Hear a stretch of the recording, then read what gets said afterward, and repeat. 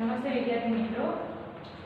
હવે આપણે પાંચ દસ તરુણ અવસ્થા તરફ એમાં આપણે પેજ નંબર એકસો ની સોળમાં જે અલગ અલગ લક્ષણો જે પરિવર્તન આવતા હતા, યોના યૌનારંભમાં પ્રવેશના કારણે જે આપણા શરીરમાં પરિવર્તનો આવતા હતા, એ વસ્તુ આપણે જોઈ ગયા હતા.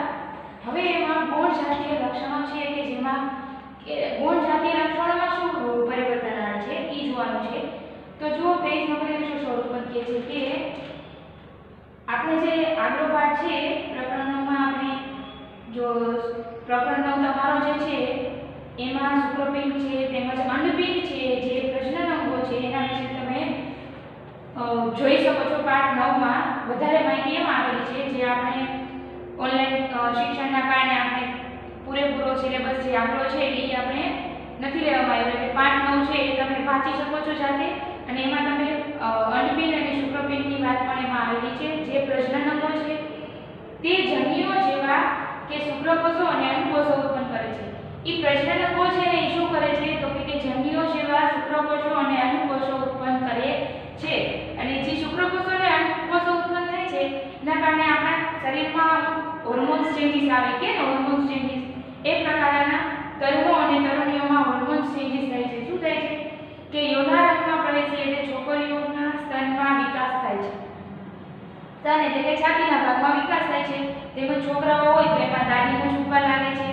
તો આ બધા છે એ ગુણ જાતીય લક્ષણો છે એ કેના કારણે થાય છે આ બદલાવ? તો કે આ બદલાવ અંતઃસ્ત્રાવના કારણે થાય છે. એ અંતઃસ્ત્રાવ ક્યાંથી આવે છે? તો કે અંતઃસ્ત્રાવી ગ્રંથિ અથવા તો અંતઃસ્ત્રાવી તંત્રો દ્વારા ઉત્પન્ન થાય છે. અંતઃસ્ત્રાવી ગ્રંથિ અથવા તો અંતઃસ્ત્રાવી તંત્રો દ્વારા ઉત્પન્ન કરવામાં આવે છે. યોનારમની સાથે જ તમારી બુકમાં કે છે કે યૌનારંગની સાથે શુક્રપિંડ નર અંતઃસ્ત્રાવ અથવા તો તે જ્યારે પ્રવેશી જઈએ, ત્યારે શું થાય છે શું થાય છે તરુણોમાં કે શુક્રપિંડ છે એ નર અંતસ્ત્રાવ એટલે કે જો આ યાદ રાખવાનું છે કે નર અંતસ્ત્રાવ એટલે ટેસ્ટેસ્ટોન ટેસ્ટેસ્ટોન ઉત્પન્ન કરે છે જ્યારે અંડપિંડ છે તરુણીઓમાં, એટલે કે છોકરીઓમાં માતા અંતસ્ત્રાવ ઉત્પન્ન થાય છે, જેને ઇસ્ટ્રોજન કહેવામાં આવે છે આ બે વૈજ્ઞાનિક નામ કહેવાય ટેસ્ટોસ્ટેરોન અને ઇસ્ટ્રોજન જે નર અંતઃસ્ત્રાવ ઉત્પન્ન કરે એને શું કહેવાય? ટેસ્ટેસ્ટોરોન શુક્રપિંડ ઉત્પન્ન કરે એને શું કહેવાય છે? નર અંતઃસ્ત્રાવ અથવા તો ટેસ્ટોસ્ટેરોન યાદ રાખવાનું. થોડુંક અઘરું નામ છે પરંતુ યાદ રહી જશે. ટેસ્ટેસ્ટેરોન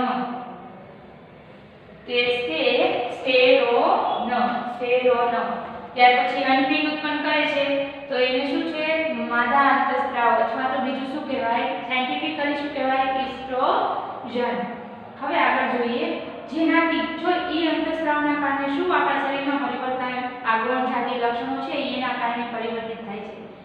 એસ્ટ્રોજન અને ટેસ્ટોસ્ટેરોન ઉત્પન્ન થાય છે, આપણા શરીરમાં નિર્માણ થાય, એના કારણે છોકરીઓમાં સ્તનનો વિકાસ થાય, તેમજ છોકરાઓમાં જ ઉગવા લાગે. આ બધા જે અમુક અમુક લક્ષણો છે આપણામાં ન જોવા મળતા હોય અને અચાનક જોવા મળે છે કેના કારણે છે? તો કે હોર્મોન્સના કારણે છે. અંતઃસ્ત્રાવને ઇંગ્લિશમાં હોર્મોન્સ પણ કહેવાય. હોર્મોન શબ્દ તમે ક્યાં સાંભળવા મળે હોસ્પિટલમાં કે ક્યાં છે ને, ત્યાં એ લોકો હોર્મોન્સ બોલતા હોય છે. એટલે હોર્મોન્સ યાદ રાખવાનું. અંતઃસ્ત્રાવને ઇંગ્લિશમાં શું કહેવાય? તો કે હોર્મોન્સ હોર્મોન્સ ત્યાર પછી કહે છે કે પ્રાજનિક પ્રજનનની કાર્યોની શરૂઆત કરવામાં અંતઃસ્ત્રાવનો ફાળો. જે પ્રજનનની કાર્યની શરૂઆત કરે, એના, એમાં કે પ્રજનન માટે જે અંતઃસ્ત્રાવોનો ફાળો છે, એ કઈ રીતે છે? તો જુઓ જોઈશું કે છે બુકમાં કે અંતઃસ્ત્રાવી ગ્રંથિઓ અંતઃસ્ત્રાવને રુધિરમાં સીધા સીધા જ ઠાલવે છે. જે અંતઃસ્ત્રાવી ગ્રંથિઓ છે, એ અંતઃસ્ત્રાવ ઉત્પન્ન કરે છે. અંતઃસ્ત્રાવી ગ્રંથિઓમાંથી અંતઃસ્ત્રાવ ઉત્પન્ન થાય છે. એ કેમાં ઠાલવે છે? તો કે રુધિરમાં. અને જેનાથી તે શરીરના વિશિષ્ટ ભાગ અથવા તો લક્ષ્યાંક સ્થળ સુધી પહોંચે છે. જ્યાં એને પહોંચવાનું છે. જે આ તો આપણે એક હજી હોર્મોન્સ આટલા બે જ હોર્મોન્સની વાત કરી. આગળ આપણે જોશું કે ઘણી બધી ગ્રંથિઓ જે આપણા શરીરમાં આવેલી છે, એ ગ્રંથિઓ છે જે અલગ અલગ પ્રકારના હોર્મોન્સ ઉત્પન્ન કરે છે. એ આપણે આગળ જોશું. પરંતુ અત્યારે કહે છે કે જે અંતઃસ્ત્રાવ ઉત્પન્ન થાય છે, જે આપણા શરીરમાં જે માટે જે કાર્યો હોર્મોન્સને કરવાના છે, એ જગ્યાએ રુધિરમાંથી વહી જાય છે પહોંચી જાય છે. જે પછી શું કરે છે? તો કે લક્ષ્યાંક સ્થળે પહોંચી અને ડી અંતઃસ્ત્રાવ એની સાથે શું કરે? પ્રતિક્રિયા કરે. આપણા શરીરમાં અનેક અંતઃસ્ત્રાવી ગ્રંથિઓ કે નલિકાવિહીન ગ્રંથિઓ આવેલી છે. મેં કીધું એમ કે ઘણી બધી ગ્રંથિઓ છે. જે આપણે આગળ જોશું. શુક્રપિંડ તેમજ અંડપિંડ જાતીય અંતઃસ્ત્રાવોને ઉત્પન્ન કરે છે. આપણે જોયું શુક્રપિંડ છે અને અંડપિંડ છે. આ બે છે. એને કેવા અંતઃસ્ત્રાવો કહેવાય? તો કે જાતીય અંતઃસ્ત્રાવો કહેવાય. જે પ્રજનન માટેના અંતઃસ્ત્રાવ ગણાય જાતીય અંતઃસ્ત્રાવો ગણાય એ બે છે તમે હમણાં જ અભ્યાસ કર્યો કે આ અંતઃસ્ત્રાવો ગુણ જાતીય લક્ષણો માટે જવાબદાર છે આપણે જોયું અહીંયા કે આ બે અંતઃસ્ત્રાવોના કારણે આપણા શરીરમાં જે આ ગુણ જાતીય લક્ષણો છે, એમાં શું થાય છે? બદલાવ આવે છે. તો એ બે કેવા અંતઃસ્ત્રાવો ગુણ જાતીય લક્ષણો માટે જવાબદાર અંતઃસ્ત્રાવો છે. તેમજ જાતીય અંતઃસ્ત્રાવો પણ પિટ્યુટરી ગ્રંથિ દ્વારા સ્ત્રવિત અંતઃસ્ત્રાવના નિયંત્રણમાં હોય છે. જો પિટ્યુટરી ગ્રંથિ છે ને જે આપણા શરીરમાં આવેલી પિટ્યુટરી ગ્રંથિ છે એ ખૂબ જ મેઇન છે. એટલે એના દ્વારા જ બધા અંતઃસ્ત્રાવો નિયંત્રિત તો આ બે અંતઃસ્ત્રાવો જાતીય અંતઃસ્ત્રાવો છે ને, એ પણ તેના પિટ્યુટરી ગ્રંથિમાં ગ્રંથિ દ્વારા જ નિયંત્રિત થયેલા હોય છે, અથવા તો ઉત્પન્ન કરે છે. જેમાંથી એક અંતઃસ્ત્રાવ અંડપિંડમાં અંડકોષ તેમજ શુક્રપિંડમાં શુક્રકોષોના પરિપક્વને નિયંત્રિત કરે છે. જો તમે આ લેખ આપેલો છે, નીચે તમે એરા કરી એની રીતે આપેલું છે. પહેલા શું કરીએ કે પિટ્યુટરી ગ્રંથિમાંથી દ્રવિત અંતઃસ્ત્રાવ છે, જે પ્રજનન પ્રજનન અંગો છે, જેમ કે નરમાં ટેસ્ટેસ્ટેરોન તથા માદામાં કેવું તો કે ઇસ્ટ્રોજન ઉત્પન્ન કરે. પછી શું થાય તો કે રુધિરમાં, પ્રવાહમાં મુક્ત થાય અને પછી તથા શરીરના વિભિન્ન ભાગોમાં લક્ષ્યાંક સ્થળે જવા માટે એ રુધિરમાં રુધિર સાથે એ વહી જાય છે. અને પછી યોનારંગ દરમિયાન શરીરમાં પરિવર્તનોને ઉત્તેજિત કરે. શું થાય? ગ્રંથિ છે એ અંતઃસ્ત્રાવને સ્ત્રવિત કરે પછી સ્ત્રવિત થઈ જાય અંતઃસ્ત્રાવ પછી આપણા શરીરમાં જે રુધિર વહે છે, એની સાથે એ પોતાની જગ્યાએ જે જે તે સ્થળે જે સ્થળે એને પહોંચવાનું છે, ત્યાં એ પહોંચી જાય છે. અને પછી એ અંતઃસ્ત્રાવો છે, એ પોતાનું કાર્ય કરે છે. તો આપણે અત્યારે તો બે અંતઃસ્ત્રાવ જાતીય અંતઃસ્ત્રાવની વાત કરી કે જે ગુણ જાતીય લક્ષણો માટે જવાબદાર છે, તો એના જે પરિવર્તનો છે, એના માટે ઈ રેડી છે ત્યાર પછી પાછળ જોઈએ પેજ 118 પર શું કહે છે? મનુષ્યમાં પ્રજનન કાળની અવધિ. મનુષ્ય છે એ ક્યાં સુધી, કયા સમય સુધી પ્રજનન કરી શકે? જ્ઞાનકાળની અવધિ કહે છે. મતલબ જુઓ જોઈએ કે જ્યારે તરુણોના શુક્રપિંડ તથા અંડપિંડ જન્યો ઉત્પન્ન કરવા લાગે છે, ત્યારે તે પ્રજનન યોગ્ય થઈ જાય છે. જ્યારે તરુણો અને તરુણીઓમાં જન્યો જન્યો ક્યાં ક્યાં થયા તમે એક તો શુક્રકોષ અને બીજું શુક્રકોષ અને અંડકોષ. આ બે આપણે જન્યો કીધા. શું છે? જન્યો નરમાં શુક્રકોષ અને માદામાં અંડકોષ. તરુણોમાં છોકરાઓમાં શુક્રકોષ અને છોકરીઓમાં અંડકોષ. આ બે જન્યો જ્યારે ઉત્પન્ન કરવા માંડે શરીરમાં, ત્યારે એ કેના માટે રેડી થઈ ગયું કહેવાય? પ્રજનન યોગ્ય થઈ ગયા, થઈ જાય છે. જન્યુઓની ઉત્પાદનની ક્ષમતા પુરુષોમાં સ્ત્રીઓની સરખામણીએ વધારે હોય છે. જે જન્યો ઉત્પન્ન થાય છે શરીરમાં એ જે સ્ત્રીઓમાં ઉત્પન્ન થાય છે, એની જગ્યાએ પુરુષોમાં કેવું છે? વધારે ઉત્પન્ન થાય છે. ત્યાર પછી આગળ છીએ કે સ્ત્રીઓમાં પ્રજનન અવસ્થાનો પરારંભ યૌનારંભ, એટલે કે જ્યારે પ્રજનન અવસ્થા, એટલે કે પ્રજનન કરી શકે એ સમયગાળો ક્યાંથી શરૂઆત થઈ જાય છે? તો કે 10 થી 12 વર્ષની ઉંમર થાય છે, ત્યાંથી એનામાં જન્યો ઉત્પન્ન થઈ જાય છે સ્ત્રીઓમાં અને એ પૂરું ક્યાં સુધી થાય? કે 45 કે 50 વર્ષના થાય ત્યાં સુધી એની અ, પ્રજનન કાળની અવધિ છે. યૌનારંભથી અંડકોષો પરિપક્વ થવા લાગે. જ્યારે યૌનારંભમાં પ્રવેશી જાય ત્યારે શું થાય છે? તો કે અંડકોષો પરિપક્વ થઈ જાય. અંડકોષો પરિપક્વ થાય એટલે એમાં શું કે 28 થી 30 દિવસના અંતરાલ પર શું થાય? અન્નપિંડ અન્નપિંડમાંથી શું થાય? મુક્ત થાય છે. અંડકોષો રહ્યા એ અન્નપિંડમાં બને અંડપિંડ જે શરીરમાં આવેલું છે એવા અંડકોષો બને છે. એ કોઈ પણ બે, કોઈ પણ એક અંડપિંડમાંથી મુક્ત થઈ જાય છે અને ત્યાર પછી એ ક્યાં જાય છે? તો કે ગર્ભાશય તરફ જાય. ગર્ભાશયની દિવાલ છે ને, એમાં એ ગર્ભાશય તરફ જાય છે અને ગર્ભાશય બાદ ક્યાં જાય? તો કે એ ગર્ભધાર ફલન માટે જાય, યુગ્મનજને પ્રેરિત ગ્રહણ કરે અને ત્યારબાદ શું થાય?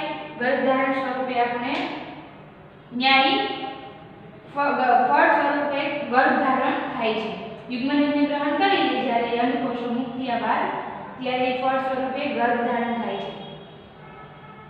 ગર્ભધારણ એટલે કે પ્રેગ્નન્સી.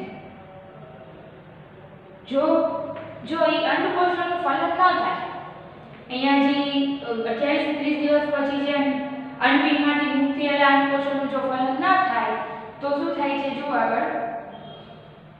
તેવી સ્થિતિમાં અંડકોષો તથા તો તેમજ તેની રુધિરવાહિનીઓ સાથે તૂટવા લાગે. જો ફલ થાય નહીં, તો અંડકોષો જે ગર્ભાશયમાં રહેલા હોય એ શું થાય છે એ મોટા થઈ ગર- રુધિરવાહિનીઓ છે એ શું થાય તૂટી જાય છે. અને તૂટી જાય છે તેનાથી સ્ત્રીઓમાં શું થાય? રક્તસ્રાવ થાય. રક્ત જે એ જે- રક્તસ્રાવ થાય છે, એને શું કહેવાય છે? તો કે ઋતુસ્ત્રાવ કહેવાય. એને શું કહેવાય? ઋતુસ્ત્રાવ અથવા તો રજોસ્રાવ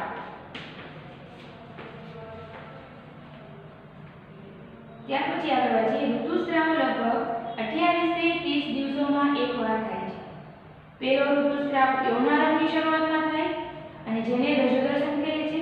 અને છેલ્લો ઋતુસ્રાવ જે 40 થી અવધિ કેટલી કીધી છે? તો કે 45 થી 50 વર્ષ સુધીની અવધિ કીધી છે. એટલે કે છેલ્લો ઋતુસ્રાવ ક્યાં સુધી હોય?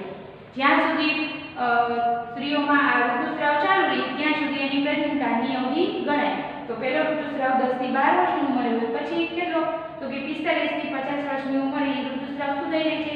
બંધ થઈ રહી છે. એટલે કે પ્રજનન કરવાની જે ક્ષમતા છે એ પૂરી થઈ ગઈ.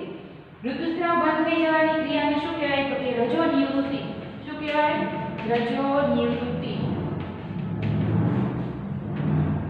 ત્યાર પછી પ્રારંભમાં ઋતુસ્રાવ ચક્ર કેવું હોય છે? તો કે અનિયમિત હોઈ શકે છે તથા તેને નિયમિત થવામાં કેટલો સમય લાગે છે? ઋતુસ્રાવ ચક્રનું નિયંત્રણ અંતસ્રાવ દ્વારા જો એ પણ કેના કારણે થાય છે? જો આ બધી આપણા શરીર જે જાતિઓ કે આપણા શરીરમાં જે કંઈ પણ ફેરફાર થાય છે કેના દ્વારા થાય છે? તો કે હોર્મોન્સના કારણે થાય છે? આ યાદ રાખવાનું. બધો ફેરફાર છે એ અંતસ્રાવના કારણે જોવા મળે છે. આ ચક્રમાં અન્નકોષોનું પરિપક્વ થવું, તેનું મુક્ત થવું, એટલે કે અન્નકોષો છે એ અન્નપિંડમાંથી શું થાય? મુક્ત થવા. પછી ગર્ભાશયની દિવાલમાં, એટલે કે ગર્ભાશયની દિવાલ જાડી બની જાય પછી જો ફલન ન થાય તો તૂટી જાય. અને તૂટી જાય એટલા માટે શું થાય છે? તો કે રજોસ્રાવ એટલે રક્તસ્રાવ થાય છે. જેને આપણે ઋતુચક્ર ઋતુસ્રાવ પણ કહી શકીએ.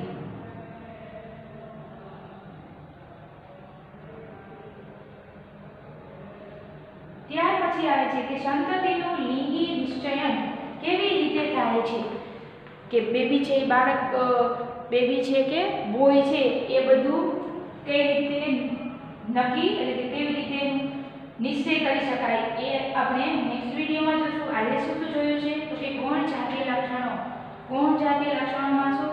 તો કે અંતઃસ્ત્રાવના કારણે જે કંઈ પણ આપણા શરીરમાં ફેરફાર થાય છે એ ગુણ જાતીય લક્ષણો છે કે શુક્રકોષો અને અંડકોષો ઉત્પન્ન થવા લાગે જ્યારે યૌનારંભમાં પ્રવેશ થાય, ત્યારે શુક્રપિંડ છે એ શુક્રકોષો અને અંડપિંડ છે એ અંડકોષો ઉત્પન્ન કરે છે. અને એના કારણે આપણા શરીરમાં એટલે કે છોકરા અને છોકરીઓ, તરુણો અને તરુણીઓમાં શું શું ફેરફાર જોવા મળે? કે છોકરાઓ, છોકરીઓમાં શું સ્તનનો વિકાસ જોવા મળે છે? તેમજ દાઢીમૂછ જોવા મળે છોકરાઓમાં. બીજું છે એ બદલાવ કેના કારણે છે? તો કે અંતસ્રાવના કારણે અંતસ્ત્રાવ દ્વારા, અંતસ્ત્રાવ કેનાથી નિયંત્રિત થતા હોય? અંતસ્રાવી ગ્રંથિ. અંતસ્રાવી ગ્રંથિ અંતસ્રાવો શું કરે છે? ઉત્પન્ન કરે. ઉત્પન્ન થાય પછી રુધિરમાં આવે. અને રુધિર દ્વારા એ શું થાય? અલગ અલગ જગ્યાએ કે જ્યાં એને લક્ષ્યાંક સ્તર એટલે કે જ્યાં એને પહોંચવાનું છે, ત્યાં એ પહોંચી જાય અને એની પ્રતિક્રિયા ચાલુ કરી દે. અને એના કારણે જે ફેરફાર થવાના છે, એ થઈ જાય છે. બીજું છે કે એનારંગની સાથે શુક્રપિંડ કેટલા જુઓ. શુક્રપિંડ છે એ નર અંતસ્રાવ ઉત્પન્ન કરે, અંડપિંડ છે એ માદા અંતસ્રાવ નર અંતઃસ્ત્રાવ કયું છે? ટેસ્ટેસ્ટોરોન અને માદા અંતઃસ્ત્રાવ છે ઇસ્ટ્રોજન છે. અને બધી બે પણ આ બે, આ બંને પણ અંતઃસ્ત્રાવ છે, એ કેના આધારે નિયંત્રિત છે? તો કે પિટ્યુટરી ગ્રંથિ.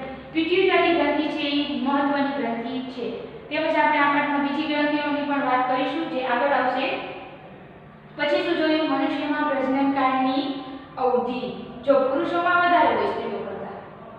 પ્રજનન પ્રક્રિયા ક્યાંથી શરૂઆત થઈ જાય છે? જ્યારે એનામાં અંડકોષો અને શુક્રકોષો જે બે જનીઓ ઉત્પન્ન થવા માંડે છે, ત્યાંથી ત્યાંથી જ મનુષ્યમાં પ્રજનન કરવાની ક્ષમતા છે એ વિકાસ થઈ જાય છે. પછી છે કે છે કે સ્ત્રીઓ છે તેમાં 10 થી 12 વર્ષ અથવા તો સોરી 10 થી 12 વર્ષથી ચાલુ થઈ જાય છે અને પિસ્તાલીસથી પચાસ વર્ષ સુધી એની પ્રજનન જે કરવાની ક્ષમતા છે ત્યાં સુધીની હોય છે. ત્યાર પછી કે છે યૌનારંભથી અંડકોષ પરિપક્વ થાય છે. પછી શું થાય? પરિપક્વ થાય એટલે ઈ, અ, 28 થી ત્રીસ દિવસના અંતરાલ પછી શું થાય? અંડપિંડમાંથી મુક્ત થાય. અનુ કોસરી આવી અને અંડપિંડમાંથી શું થાય? છૂટા પડે. છૂટા પડી અને એ ક્યાં જાય? તો કે ગર્ભાશયમાં. ગર્ભાશયમાં જાય. પછી જો એનું ફલન થાય, તો એ ગર્ભ ધારણ થઈ જાય. પરંતુ જો ફલન ન થાય, તો શું થાય છે?